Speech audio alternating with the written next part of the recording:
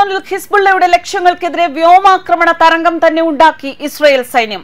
ഇറാനെ ആക്രമിച്ചതിന് തുല്യമായ നൂറിലേറെ യുദ്ധവിമാനങ്ങൾ അണിനിരന്ന കൂറ്റൻ വ്യോമാക്രമണത്തിൽ. ബെയ്റൂട്ടിന്റെ തെക്കൻ പ്രാന്ത പ്രദേശങ്ങളിൽ കറുത്ത പുകച്ചുരുളുകൾ ഉയരുന്നു.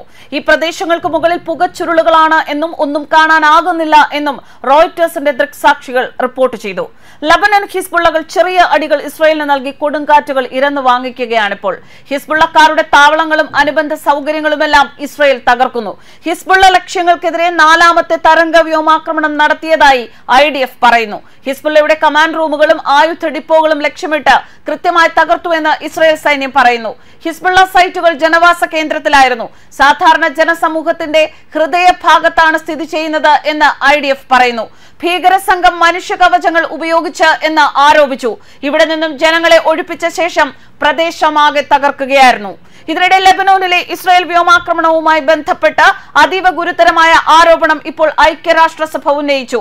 ലബനൻ ആക്രമണത്തിൽ പന്ത്രണ്ട് പാരാമെഡിക്കൽ ജീവനക്കാരെ ഇസ്രായേൽ കൊലപ്പെടുത്തി എന്ന് ലോകാരോഗ്യ സംഘടനാ തലവൻ പറയുന്നു.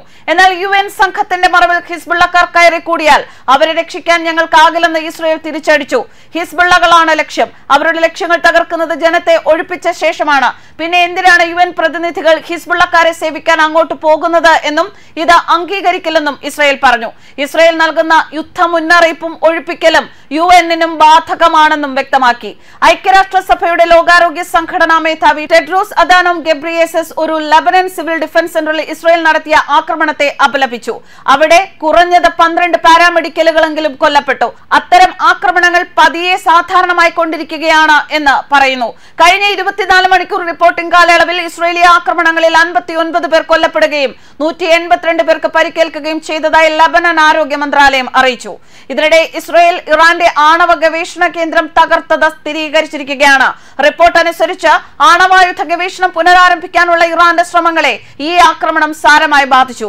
ആക്സിയോസിനോട് ന്യൂസുമായി സംസാരിച്ച ഒരു യു ഉദ്യോഗസ്ഥൻ പറഞ്ഞു ഒരു ആണവായുധത്തിന്റെ നിർമ്മാണത്തിന് അടിത്തറ പാകിയേക്കാവുന്ന ശാസ്ത്രീയ പ്രവർത്തനങ്ങൾക്ക് ഇറാൻ സർക്കാർ ഈ സൗകര്യം ഉപയോഗിക്കുകയായിരുന്നു. ആണവ ഉപകരണം സ്ഥാപിക്കുന്നതിന് ആവശ്യമായ സ്ഫോടക വസ്തുക്കൾ പരീക്ഷിക്കാൻ ഒരിക്കൽ ഉപയോഗിച്ചിരുന്ന ഗവേഷണ കേന്ദ്രം രണ്ടായിരത്തി മൂന്നിൽ ഇറാന്റെ ആണവ പദ്ധതി ഔദ്യോഗികമായി അടച്ചുപൂട്ടിയതിനെ തുടർന്ന് ദുർജീവമാണെന്ന് വിശ്വസിക്കപ്പെട്ടു. ആണവ ഉപകരണം സ്ഥാപിക്കുന്നതിന് ആവശ്യമായ സ്ഫോടക വസ്തുക്കൾ പരീക്ഷിക്കാൻ ഒരിക്കൽ ഉപയോഗിച്ചിരുന്ന ഗവേഷണ കേന്ദ്രം രണ്ടായിരത്തി മൂന്നിൽ ഇറാന്റെ ആണവ പദ്ധതി ഔദ്യോഗികമായി അടച്ചുപൂട്ടിയതിനെ തുടർന്ന് നിർജീവമാണെന്ന് വിശ്വസിക്കപ്പെട്ടിരുന്നു. എന്നാൽ യു എസും ഇസ്രയേലി രഹസ്യാന്വേഷണ വിഭാഗവും ഈ വർഷം ആദ്യം സൈറ്റിലെ പ്രവർത്തനം കണ്ടെത്താൻ തുടങ്ങി. ആക്സിയോസ് റിപ്പോർട്ടുകൾ പറയുന്നു ഇത്തരം ആണവ ലാബുകളായിരുന്നു ഇസ്രയേൽ തകർത്ത് തരിപ്പണമാക്കിയത്. തകർന്നത് ഇരുപത് കൊല്ലമായി ഇറാൻ കാത്തു സൂക്ഷിച്ചുണ്ടാക്കിയെടുത്ത ന്യൂക്ലിയർ ടെക്നോളജി ആയിരുന്നുവെന്നും റിപ്പോർട്ടുണ്ട്. പാർച്ചിൻ സൗകര്യത്തെക്കുറിച്ച് ബോർഡിലുടനീളം ആശങ്ക ഉണ്ടായിരുന്നു എന്ന് ഒരു യു എസ് ഉദ്യോഗസ്ഥൻ പറഞ്ഞതായി റിപ്പോർട്ട് ഉദ്ധരിക്കുന്നു.